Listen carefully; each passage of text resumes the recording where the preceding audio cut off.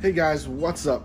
Welcome back to the channel and welcome back to another product review. Today, we are going to be looking at the smoke machine made by Stinger to check your vacuum leaks in your car. Let's go. Looking at the Stinger smoke machine, which is available on Amazon. Links are down in the description below. This machine runs off standard US mineral oil, which can be found in any Applied Pantry, convenience store, grocery store, anywhere you go shopping. You will need a compressor and an air hose to make this run. It only needs one PSI there.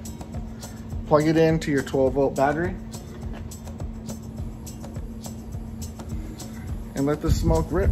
That's right. This machine is used for checking the intake leaks on any of your vehicles. Found on Amazon for around 125 bucks. Thing works amazing. Comes with another tip, a plug, a screwdriver to adjust the smoke, and comes with an extra valve right there.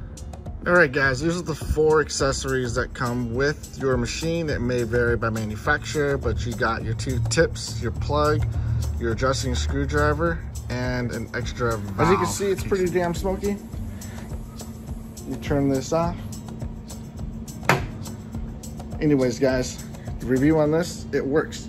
Just fill it up with oil, plug it into your battery, let the wick prime about three times, and the shit's good to go. Now I'm thinking, you guys are thinking, aren't you? Yeah, you are. Man, imagine if I filled that up with some salad and put it on a fire. Well, hey, hey, hey, that's for another video. Probably not good for YouTube, but you know what I'm saying. Anyways, guys, links below.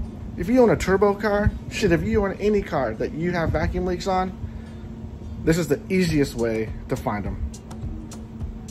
Thanks, guys. Thanks for watching. Thanks for tuning in. Hit that subscribe button, hit that like button, hit that dislike button. Don't matter to me. Links below. If you click the link, it does help the channel. And as always, guys, don't buy bad stuff. Peace.